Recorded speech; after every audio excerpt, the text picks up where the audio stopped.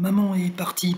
C'est ainsi que Thomas, fils de Françoise Hardy et Jacques Dutronc, a annoncé la mort de sa mère tard mardi soir dans un post Instagram. La chanteuse de 80 ans était atteinte d'un lymphome depuis 2004 et depuis 2019 d'un cancer du pharynx. Cette nouvelle a attristé de nombreuses personnalités.